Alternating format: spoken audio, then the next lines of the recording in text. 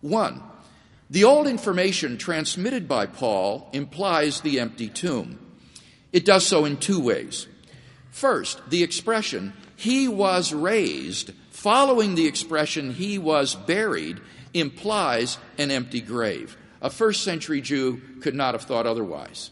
Second, the expression on the third day is probably a reference to the day of the women's discovery of the empty tomb. Thus, we have two extremely early indications of the fact of the empty tomb. Number two, the empty tomb story is also part of Mark's very old source material. Mark's source didn't end with Jesus' burial, but with the empty tomb narrative, which is tied to the burial account verbally and grammatically. And thus we have very early, independent attestation of the fact of the empty tomb. Three, the story is simple and lacks signs of legendary embellishment. In Mark's account, the women come to the tomb early Sunday morning and find the stone rolled away and the tomb empty. They see an angelic figure who proclaims to them that Jesus is risen and will appear to them in Galilee. Then they flee from the tomb in terror and silence. Now, to appreciate the simplicity of this account, one has only to compare it to the accounts in the forged apocryphal Gospels of the second century and beyond. They're colored by all sorts of apologetical and theological motifs, which are conspicuously missing from the stark account in Mark. Four, the tomb was probably discovered empty by women. In Jewish society, the testimony of women was regarded as so unreliable that according to Josephus, they were not even permitted to serve as witnesses in a Jewish court of law. Now, in light of this fact, how remarkable it is that it is women who are the discoverers of Jesus' empty tomb. Any later legendary account would certainly have made male disciples like Peter and John discover the empty tomb. But the gospel writers faithfully record what, for them, was an awkward and embarrassing fact. Five, the earliest Jewish response presupposes the empty tomb. What were Jews saying in response to the disciples' proclamation, He is risen from the dead? That these men were drunk? That the body still lay in the tomb in the garden? No. They said the disciples came and stole away his body. Matthew 28 13. Now think about that for a second. The disciples came and stole away his body. The earliest Jewish response to the proclamation of the resurrection was itself an attempt to explain why the body was missing. Thus, we have evidence for the empty tomb from the very enemies of the early Christian movement. I could go on. But I think enough has been said to indicate why, in the words of Jakob Kremer, an Austrian specialist on the resurrection, by far most scholars hold firmly to the reliability of the biblical statements concerning the empty tomb. Fact number three. On multiple occasions and under various circumstances, different individuals and groups of people experienced appearances of Jesus alive from the dead. This is a fact which is universally acknowledged among New Testament scholars for the following reasons. One, the list of eyewitnesses to Jesus' resurrection appearances, which is quoted by Paul, guarantees that such appearances occurred. The old formula quoted by Paul goes on to say, Then he appeared to Cephas, then to the twelve. Then he appeared to more than 500 brethren at one time, most of whom are still alive, though some have died. Then he appeared to James, then to all the apostles. Last of all, as to one untimely born, he appeared also to me.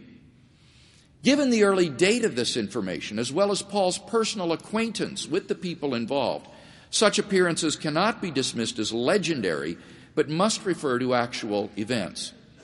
Two, the appearance narratives in the Gospels provide multiple independent attestation of the appearances.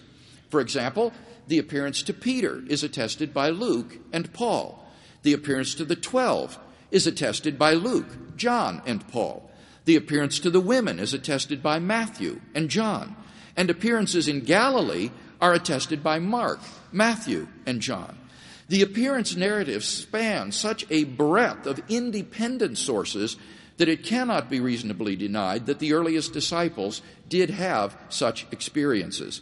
Even the skeptical critic Gert Ludemann therefore concludes it may be taken as historically certain that Peter and the disciples had experiences after Jesus' death in which Jesus appeared to them as the risen Christ. Finally, fact number four the original disciples suddenly and sincerely came to believe that Jesus was risen from the dead, despite their having every predisposition to the contrary. Think of the situation the disciples faced following Jesus' crucifixion. Number one, their leader was dead, and Jews had no belief in a dying, much less rising, Messiah. Two, according to Jew- Jewish law, Jesus' execution as a criminal exposed him as a heretic, a man literally accursed by God. Three, Jewish beliefs about the afterlife precluded anyone's rising from the dead to glory and immortality before the general resurrection at the end of the world. Nevertheless, the original disciples suddenly came to believe so strongly that God had raised Jesus from the dead that they were willing to die for the truth of that belief. Luke Johnson of Emory University states some sort of powerful, transformative experience is required to generate the sort of movement earliest Christianity was. And N.T. Wright, an eminent British scholar, concludes that is why, as a historian, I cannot explain the rise of early Christianity unless Jesus rose again, leaving an empty tomb behind him. In summary, there are four facts agreed upon by the majority of scholars who have written on this subject Jesus' burial by Joseph of Arimathea, his empty tomb, his post mortem appearances, and the origin of the disciples' belief. And thus, the majority of scholars would agree with my first contention. But that leads to my second basic contention that the best explanation of these facts is that God raised Jesus from the dead. In his book, Justifying Historical Descriptions, historian C.B. McCullagh lists six tests which historians use in determining what is the best explanation for given historical facts. The hypothesis, God raised Jesus from the dead, passes all these tests. Number one, it has great explanatory scope. It explains why the tomb was found empty, why the disciples saw post-mortem appearances of Jesus, and why the Christian faith came into being. Two, it has great explanatory power. It explains why the body of Jesus was missing, why people repeatedly saw Jesus alive despite his earlier public execution, and so forth. Three, it is plausible, given the historical context of Jesus' own unparalleled life and claims to be God's Son and the unique revelation of God to mankind, the resurrection serves as divine confirmation of those radical claims. Four, it is not ad hoc or contrived. It requires only one additional hypothesis that God exists. And even that need not be an additional hypothesis if you already believe in God's existence. Five, it is in accord with accepted beliefs. The hypothesis, God raised Jesus from the dead, does not in any way conflict with the accepted belief that people don't rise naturally from the dead. The Christian accepts that belief as wholeheartedly as he accepts the hypothesis that God raised Jesus from the dead. And six, it far outstrips any of its rival theories in meeting conditions 1 to 5.